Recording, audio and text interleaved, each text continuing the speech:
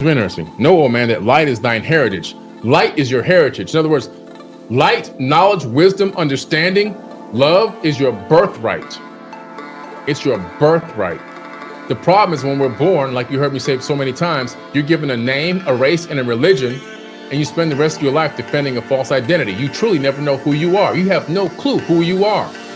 You're only basically saying, this is who I am based on what other people told you you are and who you are and what you are and what you can and can't do. The school system steals all your originality and creativity, turns you into a robot. The, the job force takes the last little bit you have left and makes you into a zombie.